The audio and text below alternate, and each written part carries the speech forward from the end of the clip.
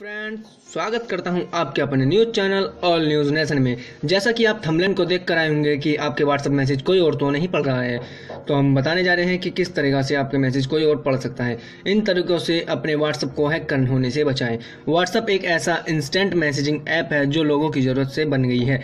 Family से लेकर friend और प्रोफेशनल काम भी अब व्हाट्सएप के ज़रिए होने लगे हैं। ये काफ़ी आसान भी है, जिससे कि लोग इसे और भी पसंद करने लगे हैं। दुनिया भर में इसके डेढ़ अरब से ज़्यादा एक्टिव यूज़र्स हैं। लोगों का भरोसा भी व्हाट्सएप पर है, लेकिन संभव है कि आपका व्हाट्सएप हैक हो सकता है।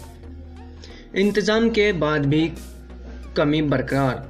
कंपनी की ओर से व्हाट्सएप को सिक्योर बनाया है। इसके साथ ही end to end app encryption देकर इसके चैट्स को भी सिक्योर बनाने का काम किया गया है। इसका मतलब ये नहीं है कि किसी भी सूरत में व्हाट्सएप को हैक नहीं किया जा सकता। ऐसा मुमकिन है कि आपके व्हाट्सएप हैक हो सकते हैं। हालाँकि ये थोड़ा ट्रिकी है। लेकिन कई बार ऐसा भी हो सकता है कि आपके प्राइवेट मैसेज को कोई और दूसरे डिवाइस में पर पढ़ सकता है।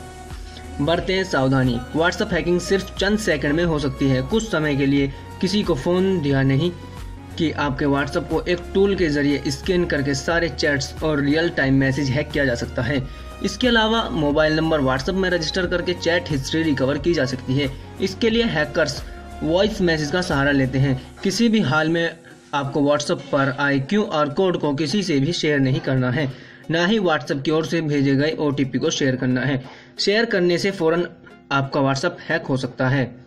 ऐसी रोचक और अनोखी स्टोरीज के लिए आप हमारे चैनल को सब्सक्राइब कर सकते हैं।